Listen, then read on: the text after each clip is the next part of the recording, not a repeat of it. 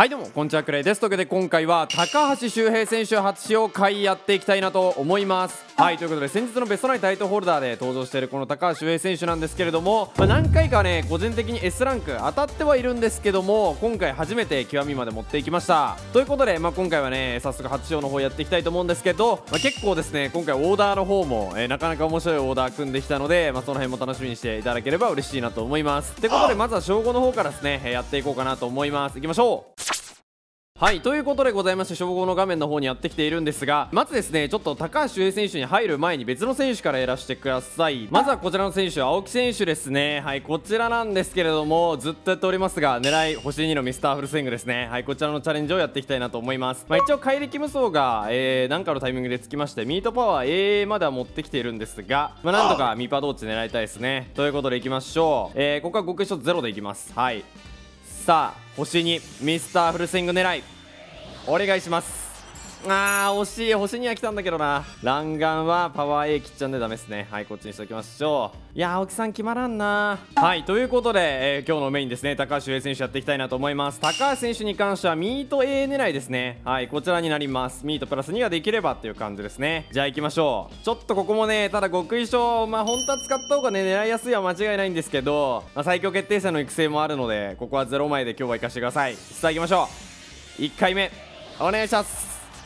えー、なんでなマジで。えー、もうやだ。もう称号これだから称号は嫌だ。マジで。本当に。いやまあ動画的には100点なんですけどね。いやプレイヤーとしてはもう0点マジで。はい次2回目いきます。さあもう早くミスターフルスイング消したいわもはや。さあ来い。ミートプラス2お星野以上来た。さあバズーカ。なんでパワーどんどん上がっていくの？まあでもいいか。とりあえず一旦こっちですね。はいミスフルを消すと。さあラスト1回。3度目の正直。いきましょう。ミートプラス2なんでまあ意外といけると思うんだよな極一緒ゼロでも。お願いします。あまた星3以上来た。さあ。あこれはいったっすね。オッケーオッケーオッケーオッケーオッケー。打撃を極めし者でミートプラス2できました。オッケー。まあ一番いい称号がついたと言っていいんじゃないかなと思います。はい。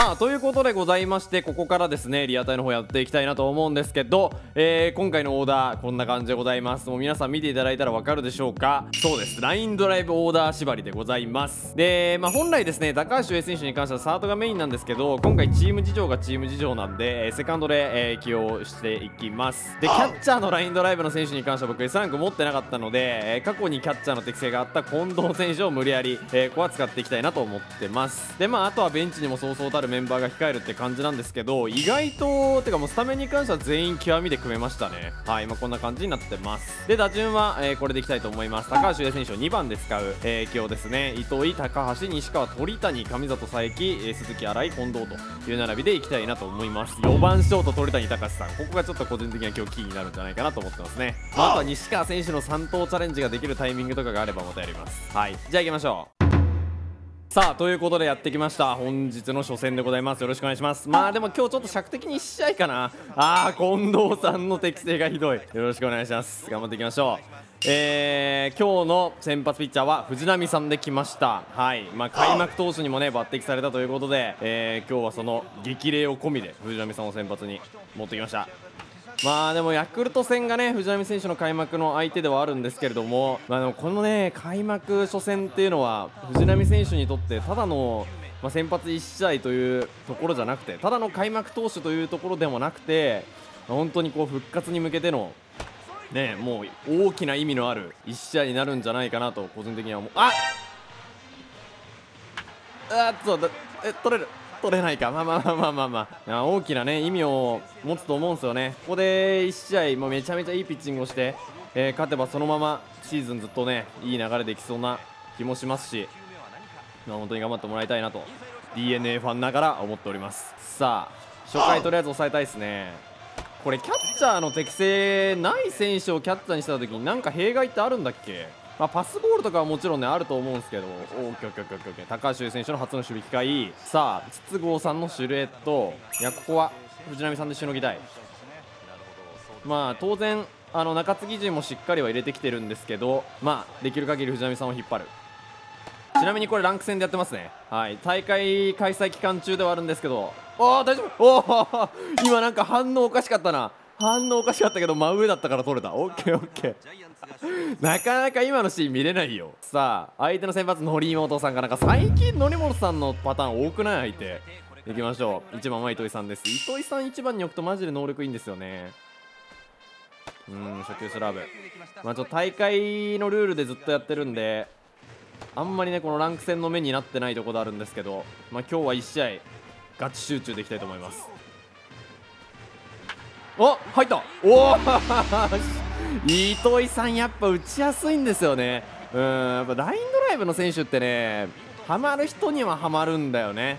うん、これね表現がすごい難しいんですけどアーティストがやっぱねこのゲーム正義ではあるんですけどラインドライブもねやっぱ打ちやすい。というかななんて言ったらいいんだろうな。しっかり捉えられる人球をしっかり捉えられる人に関してはラインドライブね打ちやすいと思うんですよね。さあということで今日の主役高橋優選手が来ました。んこれもこれもこれも。うわー入った。えやば。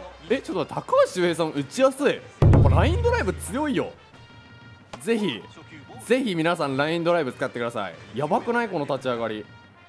やべ。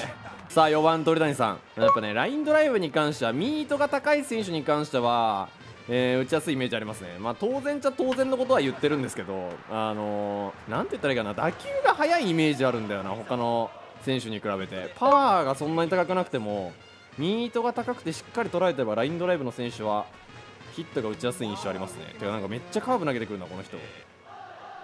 めっちゃカーブ投げてくる。なんで？カーブ系はねあんまりねリアタイにおいてはね、まあ、ナックルカーブドロップカーブは強いんですけどこの普通のカーブはあんまり強くないですね。でストレート。ああやばい。おお今のボールなんだ。さあ佐伯さん。佐伯さん使うの久々。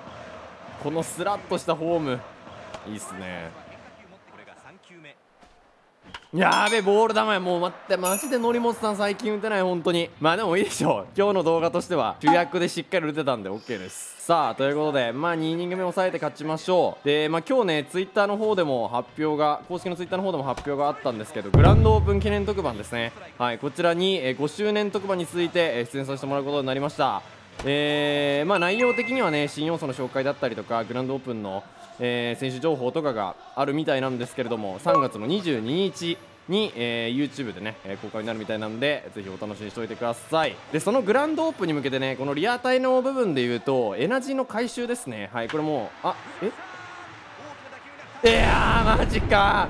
でそう、まあ、リアタイの部分でいうとエナジーの回収がですねあのー、まあやっておくべきことになります。はい。プラチナランク3までできれば上げておくとまあ、上げられるところまでですね。上げられるところまでぜひ皆さん上げておくと、まあ、エナジーがねその到達報酬で回収できるのとあとは多分2021に入ってからね、えー、最終到達地点みたいなところでエナジーまたもらえる感じになるので、えー、ぜひですね、えー、回収していただけるといいのかなと思います。このカウントで代打いく？なるほど。よしよしよしよしよしよし。はいはいはい。逆に追い込まれてる状況で代打って打つ側が難しいと思うんだけどな。さっき何打たれたっけ？ツーシームかな？ツーシームかまっすぐどっちか打たれたんだよな。もう1球。まっすぐ。いいね。さあラストボール。カットボールでいこうか。よし！